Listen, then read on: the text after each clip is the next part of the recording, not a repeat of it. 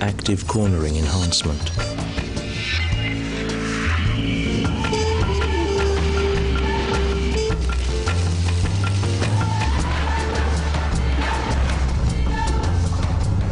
New five-cylinder turbo diesel.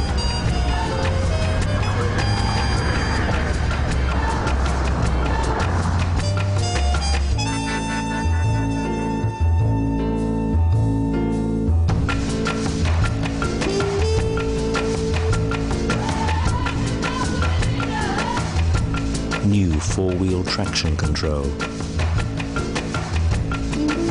New Land Rover Discovery, as good on road as it is off.